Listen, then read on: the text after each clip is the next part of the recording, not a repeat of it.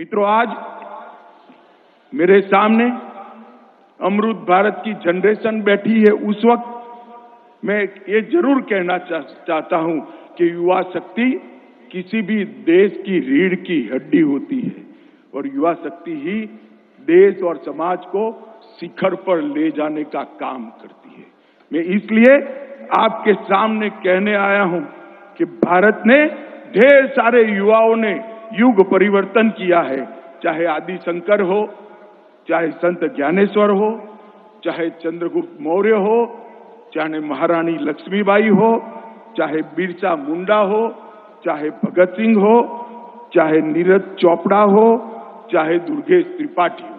ये सभी युवा उन्होंने एक विषय को ठान लिया और अपने जीवन को एक दिशा में ले गए तो परिवर्तन आया है।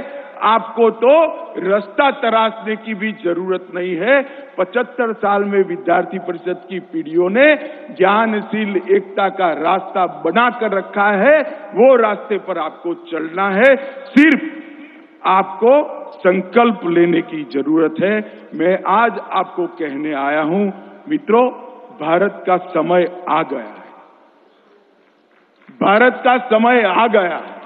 और हर समस्या के समाधान के लिए आज विश्व भारत की और आशा के साथ देख रहा है।